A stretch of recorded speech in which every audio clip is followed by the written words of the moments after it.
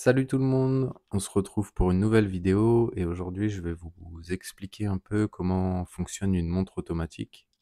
Je vais vous expliquer d'une manière générale comment ça fonctionne et on va se focaliser sur un, calibre pour voir euh, au niveau des éléments, des composants, ce qu'il se passe euh, pendant justement ce, ce remontage automatique.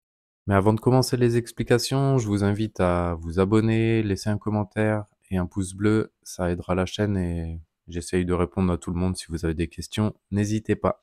C'est une complication qui date de la fin du XVIIIe siècle à peu près, on voyait ça déjà sur les montres à gousset. Mais euh, je vais pas vous refaire toute l'histoire et il existe tellement de systèmes différents, on va se focaliser sur un, puisqu'il en existe euh, vraiment, vraiment pas mal. Je les connais pas tous d'ailleurs, et j'aurais pas assez de, de, mouvements à disposition pour tous vous les montrer, mais on en a déjà vu pas mal sur la chaîne, comme euh, bah, sur la sur le NH35 ou euh, la Seiko qu'on avait révisé, ou la Chanel, et le micro-rotor qu'on avait sur la Paul Router. Et comment ça fonctionne? Tout simplement en bougeant les bras. Voilà, la vidéo est terminée, on se retrouve très bientôt. Oh non, je plaisante, on va continuer un petit peu quand même, je vais rentrer un peu dans le détail.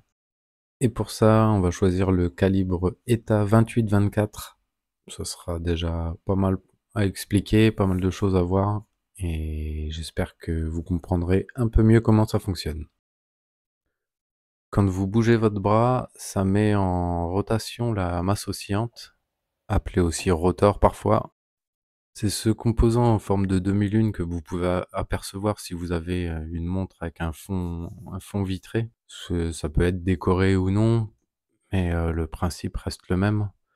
Donc, euh, grâce au mouvement du poignet et à la force de gravité, la, masse tournera dans un sens ou dans l'autre. Et grâce à la denture qui est solidaire de la masse, qu'on peut voir ici, elle se trouve en général sous la masse, ça va entraîner tout un rouage avec la dernière roue qui va arriver jusqu'au rocher et donc euh, armer le ressort de barillet. Ça c'est pour la version simple. Bah, là je vais vous montrer, on, va, on le voit bien. Donc on part de la masse qui va engrainer avec deux mobiles en même temps. C'est les mobiles inverseurs. Justement sur ce type de calibre, la masse va remonter le, ressort de barillet dans, le, dans les deux sens de rotation de la masse. Et comme vous pouvez le constater, le rocher ne tourne que dans un seul sens, donc il a fallu trouver un système pour, euh, quel que soit le sens de rotation de la masse, que le rocher s'arme dans le bon sens. Et pour avoir ce remontage bidirectionnel, il y a donc les inverseurs. Je vais essayer de vous expliquer, c'est la partie un peu la plus, la plus compliquée à, comprendre. Puis même à expliquer, ça va pas être simple avec le matos que j'ai, mais euh, on va essayer. On va se focaliser sur une des deux, sera, puisqu'elles ont la même fonction, elles fonctionnent exactement pareil. Voilà à quoi elles ressemblent en la sortant du mouvement. On peut voir deux roues, une jaune, celle du dessus, et une plus rosée en dessous. Elles sont sur un axe, elles sont pas solidaires l'une de l'autre. Et entre les deux, là on va pouvoir les apercevoir un petit peu, c'est les cliquets qui sont entre les deux et qui vont permettre euh, de bloquer une roue par rapport à l'autre, mais on va voir encore un peu plus en détail. voilà comment ça se compose. Je vais tenter de vous expliquer directement. Euh, je suis en direct de ce que je fais par rapport à d'habitude où je suis en voix off. C'est un peu différent parce que je dois regarder l'écran et faire les manips et les explications, mais ça sera peut-être plus simple pour ce genre de choses. Donc là, ce que j'ai fait, j'avais démonté une roue, euh, un inverseur euh, sur une montre euh, qui était, bah, l'inverseur était à changer. Là, on voit les traces d'oxydation. Donc là, on voit le, petit plot qui est ici dans la roue. Et c'est à cet endroit que les, inverseurs vont, vont, pouvoir pivoter. Ils vont pas pivoter beaucoup, hein, ils vont juste se déplacer un tout petit peu par rapport à cet axe-là. Euh, là, nous avons bah, la roue, l'inverseur. Et ici, j'ai, en démontant l'inverseur, j'avais démonté sur un 28-92, c'est légèrement différent. Donc cette roue jaune ne correspond pas à, celle-ci. Mais c'est juste pour vous montrer l'intérieur et la forme qu'on peut retrouver. Là, il y a des petits, il y a des petits plots d'écran. On en voit un ici, un autre là, là. Bref, il y en a sur tout le pourtour. Et on va avoir la même forme de... ces mêmes formes ici crantées sur la roue du dessous. Sur, pareil, sur le, sur le pourtour. Donc en gros, quand la masse représentée là par mes, par mes Bruxelles va entraîner ce mobile dans le sens anti-horaire, je vais essayer, voilà. La roue du dessous ne bouge pas. Ce qu'elle va faire, elle va faire tourner les cliquets dans un sens où l'extrémité du cliquet, qui est caché juste ici, va en fait venir glisser sur ces encoches sans pouvoir l'entraîner. Les encoches, je rappelle, elles sont sur la roue du dessous. Alors qu'au contraire, quand on tourne dans l'autre sens, les cliquets vont aller se positionner grâce à une forme qu'on voit ici. C'est une forme qu'il y a fixée pareil sur la roue solidaire de la roue du dessous. C'est une forme d'étoile un petit peu. Et en, rencontrant ces, formes, le cliquet va, va se décaler vers l'extérieur. Donc les pointes du cliquet vont aller se caler dans l'écran ici, qu'on ne voit pas, malheureusement. Et comme elles sont calées, comme les, cliquets sont, sont, bien calés dans l'écran, ici bah ça tournera pas parce que je suis dans, dans du Rodico, ça va être compliqué. Je vais essayer quand même avec de Bruxelles. Donc cette fois, ça entraînera la roue du dessous.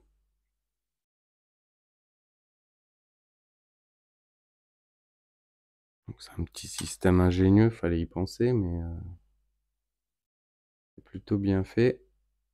Et on recommence, si je tourne dans l'autre sens, on voit les cliquets qui vont se déplacer et qui vont glisser sur, sur l'écran qu'on voit, on ne voit pas justement, mais qu'il y a ici.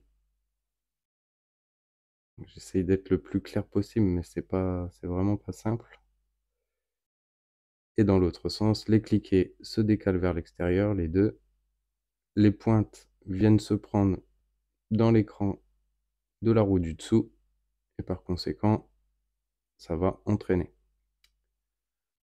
Donc, revenons sur l'autre mouvement. Voilà. Donc celui que je vous ai présenté, enfin celui que je vous ai détaillé c'était ce, cet inverseur-là.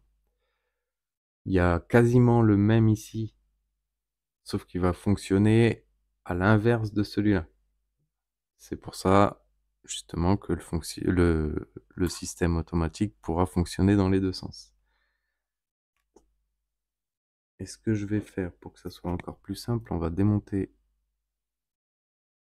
la masse. Hop. Voilà. Ce sera d'autant plus clair, je pense. Mes Bruxelles vont encore remplacer la masse. Quand je vais tourner dans le sens anti-horaire, la roue du dessous ne va pas bouger. Et quand je vais dans le sens horaire, elle va tourner en même temps et dans le même sens. Sachant que la roue du dessous engraine avec la roue du dessous du deuxième inverseur. Ça va faire comme un train de rouage euh, standard. Donc là, on va le voir. Je vais essayer. Voilà. Ça entraîne cet inverseur qui entraîne, qui engraine avec euh, la roue qui est cachée ici, qu'on voit pas bien, qui entraîne la roue suivante jusqu'au barillet, enfin au rocher qui va entraîner le, le barillet, enfin le ressort de, l'arbre de barillet qui va armer le ressort de barillet.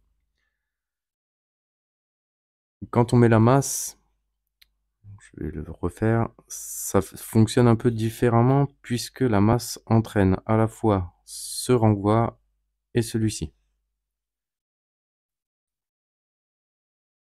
Essayer de remettre ça, voilà. Donc moi quand je bougeais un seul mobile à la fois, la roue du dessous ne tourne pas ou tourne dans un sens. Alors quand il y a la masse, là on le voit, quand la roue jaune tourne dans le sens anti-horaire,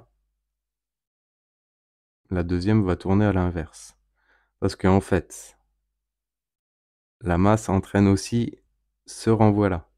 Et quand elle l'entraîne dans le bon sens, les deux roues de l'inverseur vont tourner dans le même sens et comme elles engrainent avec l'autre, ça va le faire tourner à l'inverse. Je sais pas si je suis bien clair, n'hésitez pas à le mettre dans les commentaires si vous avez des questions ou des précisions, parce que moi je suis en train de m'emmêler les pinceaux, ça fait dix fois que je recommence la vidéo. Et c'est le, plus simple que j'ai réussi à faire en, en, présentant directement, en vous montrant euh, en parlant en même temps que je fais les explications parce qu'en voix off c'est hyper compliqué, j'avais pas les bons les bons rushs. Bref, donc n'hésitez pas si vous avez euh, des questions. Je vais essayer de résumer tout ça. Quand la masse tourne dans le sens anti-horaire, cet inverseur se met en, fonction et engraine le reste. A l'inverse, quand la masse va dans le sens horaire, c'est celui-ci qui tourne dans le bon sens, la, masse engraine avec la roue supérieure, la roue du dessus, la roue jaune. Les cliquets vont s'enclencher dans la roue du dessous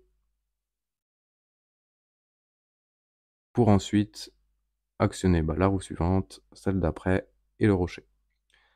Celle-ci va tourner aussi, mais ne sera d'aucune... Euh, si elle, si on pourrait l'enlever, et la masse, le mouvement s'armerait quand même, mais seulement dans un seul sens. Donc je j'espère avoir été clair. Voilà pour le pour les explications. N'hésitez pas, au pire je refais une vidéo avec euh, plus de précision si vous avez besoin. Mais euh, je pense que, je suppose, j'espère, que vous comprendrez mieux, grâce à cette vidéo, comment ça fonctionne avec ces, fameux inverseurs. Euh, qu'est-ce que je peux vous dire d'autre? Si, donc quand on arme manuellement la pièce, il y a la roue de couronne qui va faire tourner le rocher armé, mais il y a aussi le train de rouage de l'automatique qui va tourner. Donc là, on peut voir sans la masse que tout, va, tout va se mettre à tourner. Et c'est la raison pour laquelle euh, parfois on voit la, la masse qui se met à tourner. C'est pas normal, entre guillemets. Ça, va fonctionner aussi, mais euh, si les inverseurs sont bien lubrifiés, on va le voir tout de suite. Comme là, c'est une pièce à réviser. Pas sûr que ça fonctionne bien, on va voir ça. Donc si ça fonctionne, ils sont encore bien lubrifiés. Donc il y a les roues des deux inverseurs, les, roues du dessous qui vont se mettre à tourner, parce qu'elles vont être entraînées par le rouage euh, qui part du rocher. Mais les cliquets, on va les voir bouger puisque ça va aller dans le sens contraire euh, de ce qu'il faudrait, de ce qu'il faudrait pour, euh, pour que les cliquets viennent s'enclencher dans les encoches et faire tourner la roue et faire tourner par, euh, au final la masse. Ça arrive que oui, les cliquets se mettent, se mettent soit enclenché en final puisque le huilage n'est pas optimal et, et du coup les, les cliquets sont pas aussi mobiles qu'ils devraient être. Et du coup quand on, quand on arme la pièce, on voit parfois la masse qui, se met à tourner comme ça. Là j'ai réussi parce que j'arme en même temps. Voilà j'ai réussi. Donc euh, rien de bien grave mais c'est une façon aussi de savoir si les inverseurs sont bien lubrifiés, s'il en manque pas ou s'il y en a pas trop, puisque si on en met trop aussi, les cliquets peuvent coller à cause de l'huile et rester à leur position euh, dans une position bloquée et euh, du coup entraîner la masse. Donc voilà pour les explications. Une dernière chose que je peux dire à propos, euh, parce qu'on a vu en remontant manuellement ce qui se passait, donc les, inverseurs se mettent pas sont pas dans le bon sens de, rotation et du coup n'entraînent pas la masse. Enfin, sont pas dans le bon sens.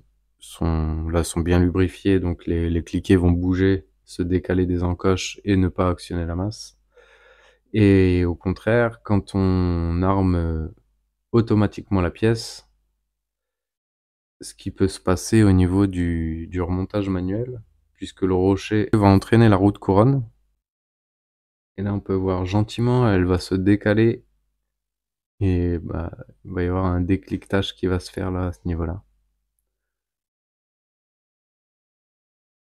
Comme un petit saut à recul de plus en plus. Là, voilà. Et ça évite que bah, ça ne tourne, que ça fasse tourner tout ça et que ça fasse tourner le, la couronne. Je pense que j'ai pas autre chose à vous dire là-dessus. Et comme je disais tout à l'heure, n'hésitez pas si vous avez des questions, posez-les dans les commentaires et on regardera, je regarderai ce que je peux faire pour vous en dire un peu plus sur tout ça. Pour ceux qui avaient oublié, à 3000 euh, abonnés, je ferai un petit concours. J'ai déjà un lot, un joli lot euh, à vous faire gagner. Je vous dis pas tout de suite ce que c'est. Donc euh, regardez les prochaines vidéos. On en a fini avec l'explication du système auto. J'espère vraiment que vous aurez compris. Sinon, comme je disais, hein, n'hésitez pas à laisser vos questions en commentaire. Si vous n'avez pas de questions, laissez un petit message d'encouragement ou juste un petit bonjour, ça fait super plaisir et ça aidera la chaîne au référencement. Si c'est pas fait, on s'abonne et euh, on se retrouve très bientôt pour euh, une nouvelle vidéo. Alors, à bientôt.